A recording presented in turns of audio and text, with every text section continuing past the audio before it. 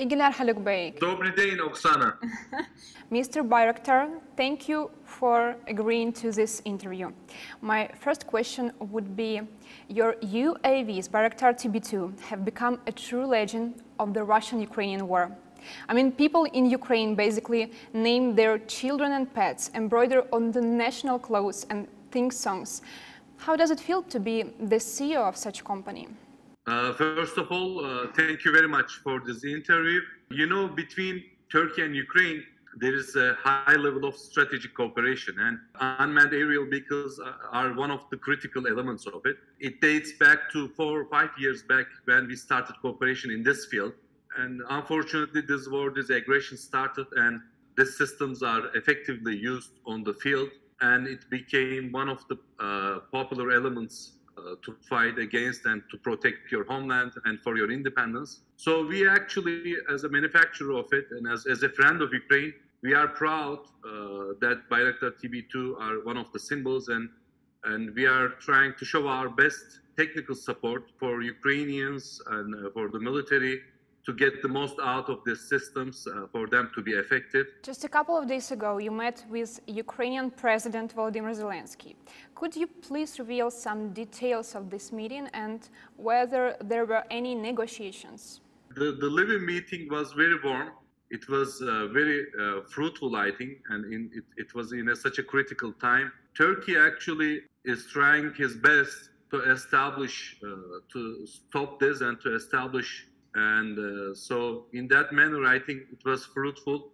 There was some uh, agreements actually uh, for turkey's support on the restoration of ukraine.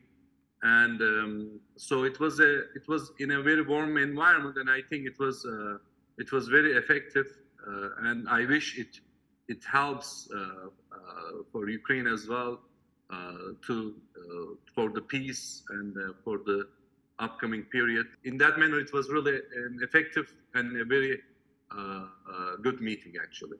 Mr. Bayraktar, are you personally satisfied with the work of Bayraktar TB2 in Ukraine?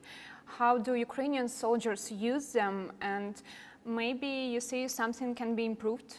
Unmanned uh, aerial systems and uh, they, they, they are force multipliers on the field. They really help the help the users to have 24-hour uh, situational awareness and for for long endurance uh, surveillance. So they they support activities of the field. And and uh, these systems uh, in in the case of Ukraine you know before the war we have trained Ukrainian operators. So they are effectively using them and I am following it from the media as well. And as far as I see they're uh, effectively used and benefited. And, and of course, these technologies are high-end, and depending on the feedback from the field, they are improved continuously. So we can we can easily say that you know the Ukrainian operators are doing their best and performing very well with their skills uh, to use uh, the systems. Actually, have I understood right? You receive uh, some feedback from our army, yes?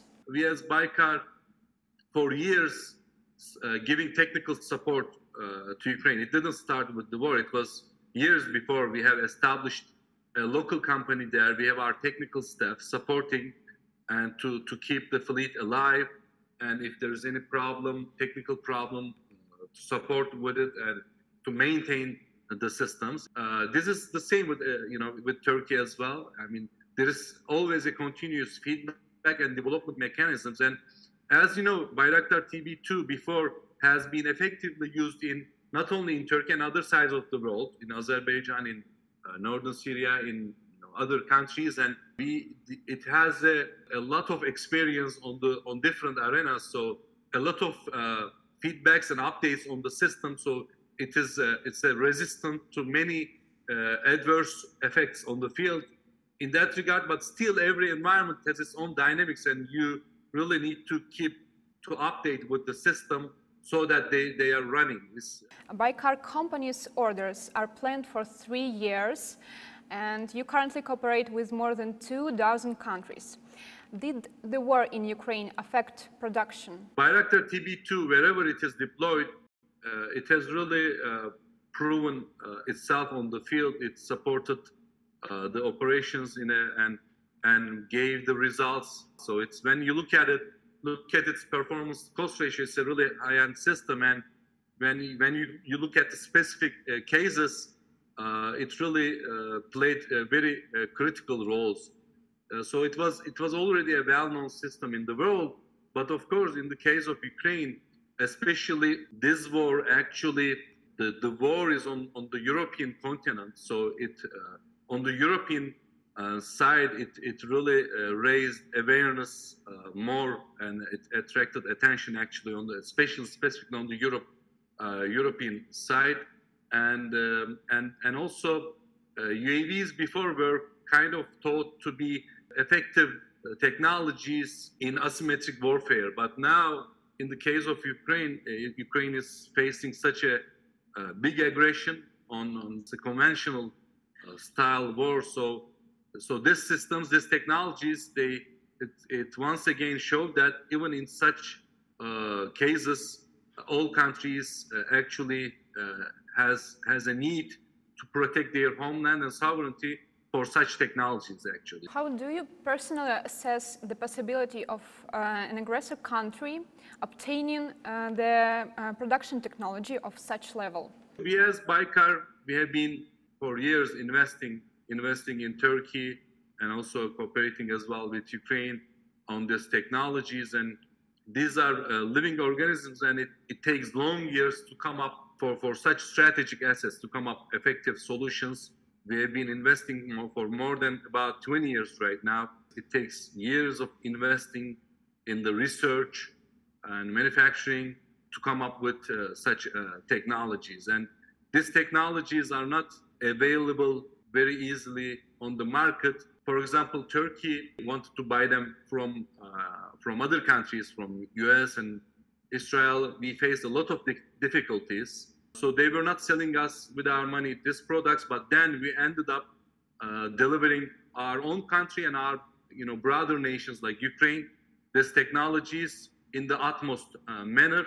And in Ukraine, it was a similar case. In Ukraine, uh, you know, in the year of 2018, U Ukraine wanted to procure armed unmanned aerial systems.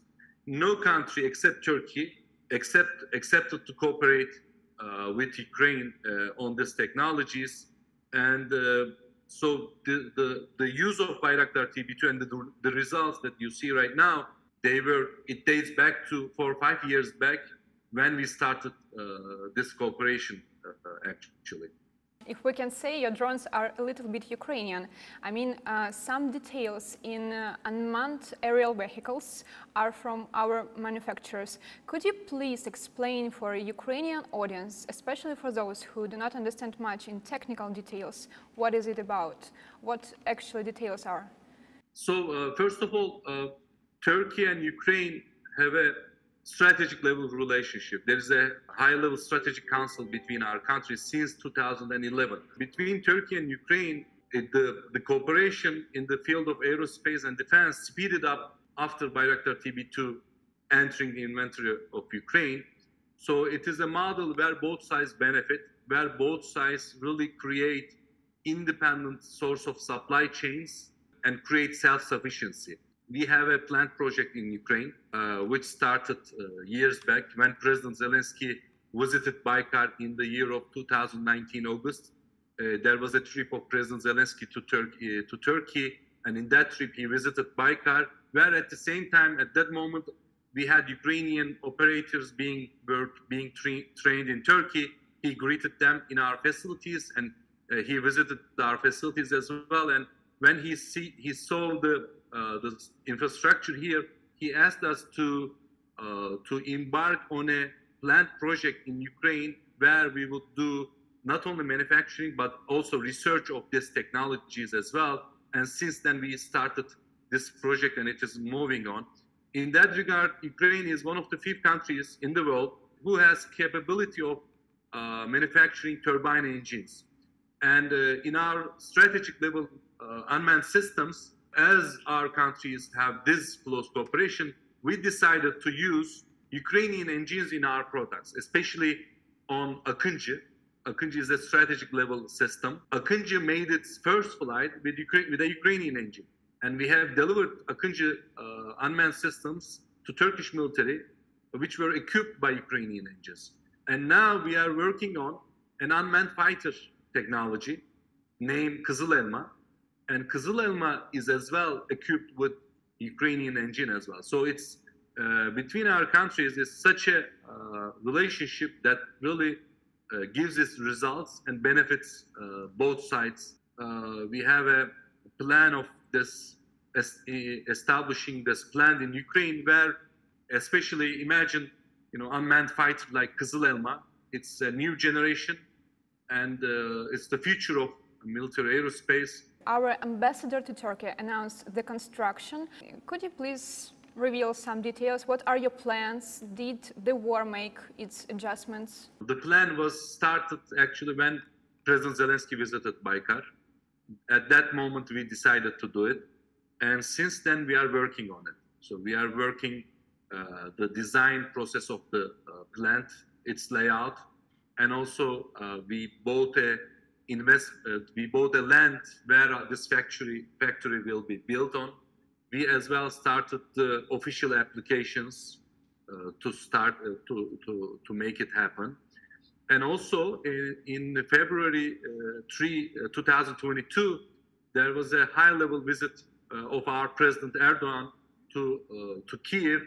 And at that visit, two agreements, two big agreements were signed. One of, one of them was free trade agreement and that agreement uh, was actually a, a, a, significant facilitator of this uh, plan as well. To, to make this happen, this agreement was really critical, and it was signed on uh, 3 February before the war. You know, the, then the war started, but our plans are still active and running, and we are uh, keeping our work, keeping our deadlines for it. So uh, it is it is moving on actually. Thanks to UAVs Bayraktar TB2, we have seen a real phenomenon. I mean, ordinary people, not just governments of states, fundraising money on a short notice. Lithuania, Poland, and Ukraine have already done it, and you generously offered them for free. How did you make this decision and why? It was also uh, really surprising for us to see donations in Ukraine, in Lithuania, in Poland, and now it, it is running in Latvia. So people from all over the world, not only in Ukraine, trying to support Ukraine and trying to support its uh, war uh, against its aggression and for its independence. We as Baykar, with our staff and everyone, uh, actually wanted to be part of it. We, because we, we as company as have our own principles and in in such uh, bad times, we we as well have our responsibility as a company, as human beings, to support and do his best for Ukraine. And in that regard, in all this all of these campaigns, which which started with Lithuania, we made a decision that we will not uh, receive the funds that is collected. We will guide and guide these funds to be used for humanitarian uh, projects for Ukraine, for Ukrainian people, and we will give this UAVs free. So um, we have a lot of friends in Ukraine, and we know how um, how full of life they are. In in our last trip to Lviv, I have seen it also once again very clearly.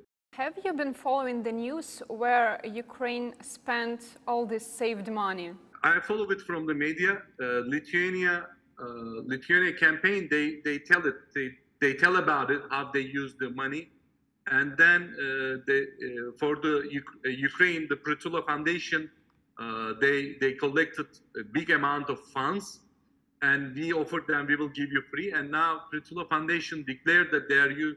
they use the money to buy a satellite, imaging satellite to support Ukraine.